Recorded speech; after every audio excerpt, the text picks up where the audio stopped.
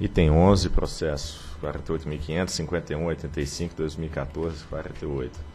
Pedido de reconsideração interposto pela Cooperativa Regional de Energia Taquari Jucuí, em face da resolução homologatória 1884 de 2015, que homologou o reajuste tarifário anual de 2015 da recorrente. Diretor relator, doutor José Girosa. Trata-se de pedido de reconsideração interposto pela Cooperativa Regional de Energia Taquari Jacuí, Acertagem Energia contra a Resolução Homologatória 1884-2015, que aprovou o reajuste tarifário de 2015, publicado em 24 de abril de 15. E em 4 de maio de 15, por meio de carta, a Acertagem interpôs recurso administrativo com vista à revisão dos valores de tarifa previstos nessa Resolução Homologatória de número 1884. Em 11 de maio, fui sorteado diretor-relator em 14 de agosto de 15, por intermédio de carta, acertada solicitou que fosse analisado também questões relativas aos montantes de uso de transmissão considerado para o cálculo de cobertura tarifária relativa ao encargo de uso do sistema de transmissão. Em 1 de setembro de 2015, a minha assessoria solicitou a análise técnica da SGT sobre o recurso pela acertagem, que em 16 de 11 se manifestou por meio de nota técnica. É o relatório. Procuradoria. A Procuradoria opina pela presunção de juridicidade da decisão a ser proferida pela diretoria. E para melhor entendimento, serão apresentados os pleitos da acertagem acerca da revisão dos valores da tarifa prevista na resolução 1884 e em seguida será realizada a análise do respectivo tópico. Então, na relação ponto e fora de ponto, em seu pedido de reconsideração, a Acertagem argumentou que a abertura da demanda nos postos tarifários ponto e fora de ponta passou a ser praticada pelas permissionárias após abril de 2014 portanto, no reajuste tarifário de 2014, sem que houvesse um histórico para acertar. E a nota técnica número 101 da SGT, referente à resolução homologatória 1884, não apresenta o tratamento adequado aos cálculos do CUSE, uma vez que os valores adotados na resolução homologatória 1119-14 tinham caráter provisório e, portanto, deve ser revisado. E cabe observar que, nesse caso, não se trata de CVA, mas de diferença ocorrida devido à aplicação de critérios não previstos nos atos regulatórios referente ao processo de reajuste tarifário da permissionária. Este pedido diz respeito ao processo tarifário de reajuste 14 e 15, o qual se encontra fora do prazo recursal. A despeito disso, a SGT informa que, devido à falta de valores históricos de faturamento de demanda separado ponto e fora de ponta, durante o processo tarifário de reajuste 14 e 15, os custos com o uso da distribuição foram apurados levando em consideração que o montante da demanda na ponta da carga seria 72% da, fora da ponta. Tal valor é uma média histórica utilizada no sistema de distribuição brasileiro, portanto, uma estimativa válida. Desta forma, entende-se que o pleito não procede com o que eu concordo. Quanto ao ajuste da rede básica, despeito financeiro, ajuste da rede básica, acertar o argumento que o valor apresentado para o custe na nota técnica 101 da SGT, referente à resolução 1874, 84 não corrigiu devidamente os valores calculados no processo de reajuste anterior, uma vez considerou o valor de pouco mais de 600 mil reais e, porém, deveria ter considerado o custo medido e convertido nos valores monetários através da tarifa vigente. Essa nota técnica apresenta a diferença de pouco mais de 245 mil referente ao considerado no processo de reajuste 14 e ao, e ao, e ao realizado no ciclo, os quais devem compor o ajuste financeiro referente ao recálculo da revisão anterior. E para a SGT, o financeiro ajuste rede básica proposto pela primeira vez no reajuste da Sertagem de 2015 tem por objetivo ressarcir a permissionária das diferenças tarifárias ocorridas no cálculo da cobertura de rede básica no processo de reajuste anterior. Tá, a diferença ocorre porque o reajuste da Sertagem acontece três meses antes do reajuste tarifário da rede básica. Ou seja, esse financeiro busca apenas restabelecer o sincronismo tarifário garantido no contrato de permissão número 15 de 2008 em sua classe décima terceira a colacionada. Em suma, o reajuste das tarifas do contrato de compra de energia entre permissionário e sua subidora ocorre no momento do reajuste da permissionária.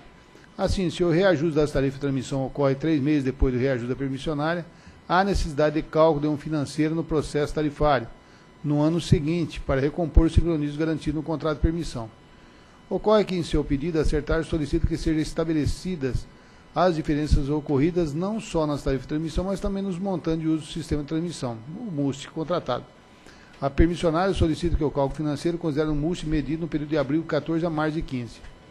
E a despeito desse pedido, a SGT argumenta que os montantes utilizados no cálculo da cobertura de transmissão no reajuste 14 e 15 seguiram estabelecido no contrato número 15, que está colacionada abaixo. Ou seja, a cobertura tarifária dos custos de transmissão referente ao de 14 foi calculada utilizando os montantes relativos ao período de abril de 13 março 14, conforme estabelece claramente o contrato de permissão.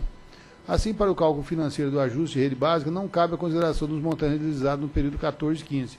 Portanto, esse argumento não foi acatado. Ademais, deve-se destacar que esse componente financeiro ainda não consta formalmente do PRORET, aprovado pela ANEL, e no processo tarifário de reajuste de 15 já foi aprovado de forma provisória, até a sua regulamentação. Portanto, esse argumento não foi acatado.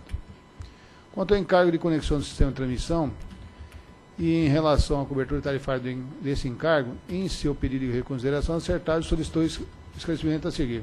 Primeiro, a dúvida principal é se o valor de pouco mais de 200 mil reais considerado no processo de ajuste de 2015 contempla os custos decorrentes desses desde a implantação do módulo em novembro de 2012 até o momento não contemplado nos ajustes tarifários.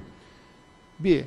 Qual o valor a ser considerado no próximo ciclo tarifário? E C. Como a já tem contrato vigente com a CE e GT, a permissionária questiona se o valor definido pela ANEL deve corresponder ao que está sendo pago pela Sertagem no referido contrato. Em relação ao item A, o custo relativo à entrada de linha que conecta a Sertagem ao sistema de transmissão da CE GT não foi reconhecido no, reajuste da receita anual permitida na RAP ciclo 13-14. Quando reconhecido no, no, reajuste da RAP no ciclo 14-15, esse foi associado de forma equivocada com os custos devido à ESU e não à Sertagem. Por essa razão, o custo de conexão de responsabilidade de acertagem não aparece nos anexos da Resolução 1559 de 13, que trata o reajuste tarifário do ciclo 13-14, tampouco dos anexos 1556 de 14, que trata o reajuste tarifário de transmissão no ciclo 14-15. Essa situação foi corrigida no, reajuste da, da RAP no ciclo 15-16, homologado na Resolução 1918 de 23 de junho de 15. Como o problema foi detectado a tempo do reajuste da acertagem, realizado em abril de 15, esse processo de reajuste foram considerados os custos de conexão à rede básica, os valores homologados erroneamente à AES pela Resolução 1756. Contudo, não foi considerado o passivo relativo ao período de novembro de 12 a abril de 15, por não ter sido devidamente apurado no reajuste das rápidas transmissoras. Em relação ao item B, deverá constar no próximo processo tarifário da acertagem o valor constante do anexo 2 da Resolução homologatória 1918 de pouco mais de 216 mil reais, a preço de junho de 15, referente ao encargo de conexão pago pela Sertagem ACE GT no período de 1 de julho de 15 a 30 de junho de 16. E, ademais, o anexo 6 dessa mesma resolução traz o valor de 500, pouco mais de 564 mil, a preço de junho de 15, relativo à parcela de ajuste a ser paga à CE GT, pelo período de operação na entrada de linha entre novembro de 12 e junho de 15. Entretanto, esse valor não deve ser considerado na sua totalidade no próximo processo tarifário da acertagem, pois no reajuste de 15, a permissionária já foi considerada cobertura tarifária para a entrada de linha em questão, no período de abril de 15, ou seja, não cabe o reconhecimento do valor relativo a esse período. E, além disso, o submódulo do ProRes estabelece que, em relação aos custos de conexão dos usos do sistema de transmissão ou distribuição, os riscos inerentes à contratação de serviços e variações de mercado são próprios da atividade da distribuidora vedado, portanto, a consideração de ajustes compensatórios posteriores em decorrência de surgimento de novos custos da natureza no período de referência. Assim, não se deve considerar o cálculo desse financeiro o valor relativo ao período entre novembro de 12 e abril de 13. Desta forma, o processo tarifário de 16 deve considerar o valor de R$ 426.068,95 a preço de abril de 15 relativo ao financeiro, devido pela cobertura tarifária do encargo de conexão não considerado nos processos tarifários acertados no ciclo 13, 14 e 14 15. E em relação ao item C, o valor a ser pago pela acertagem ACE são aqueles estabelecidos na Resolução 1918 da RAP das transmissoras. Quanto ao EUST de 1516, a respeito do cálculo desse valor, a permissionária fez a solicitação a seguir, que no arquivo suporte do cálculo IRT denominado Persas 15 Sertário 2 consta a planilha de rede o número e megawatts de ponta, que é 16 e fora da ponta que 13,5, para os primeiros nove meses do ciclo. Com relação aos três meses seguintes, são adotados o valor de 16,19 de ponta e 16,93 fora de ponta. Entretanto, no anexo do termo aditivo número 5 do custo de 60 está previsto que os montantes de uso contratados para, os, para o ciclo da permissionária abril 15 março 16 são para os meses de 2015, ponto 16.19 e fora de ponto 16.93. E para os meses 16, 16.44 e fora de ponto 17.18. Primeiramente, deve informar que esse pleito foi feito pela acertagem a posterior e fora do prazo de recurso, portanto, é intempestivo. A despeito disso, a GT informa que no cálculo da cobertura tarifária do EUST, utiliza-se um MUST no período de referência, nesse caso, abril de 14 março de 15, e não no período de abril de 15 a março de 16, como solicitado pela permissionária. Assim, a área de regulação entende que o pleito não procede, não procede com o que eu concordo.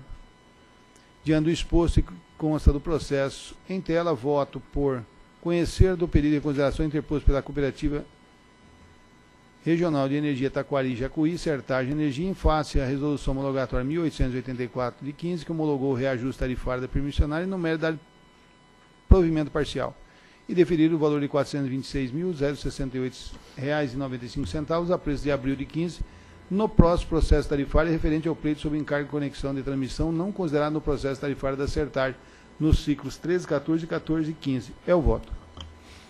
Em discussão. Em votação. Eu voto com o relator. Também voto com o relator. Também acompanho o relator. Também voto com o relator. Proclamo, então, que a diretoria decidiu por conhecer do pedido de reconsideração interposto pela Cooperativa Regional de Energia Taquari e Jacuí, Sertage Energia, em face da resolução homologatória 1884, 22 de abril de 2015, que homologou o reajuste tarifário da permissionária de 2015 e, no mérito, dá-lhe provimento parcial, definir o valor de R$ 426.068 a preços de abril de 2015 no próximo processo tarifário referente ao pleito sobre o encargo de conexão à transmissão não considerado nos processos tarifários da, CETA, da Sertaja dos ciclos 2013-2014 e 2014-2015. Próximo item.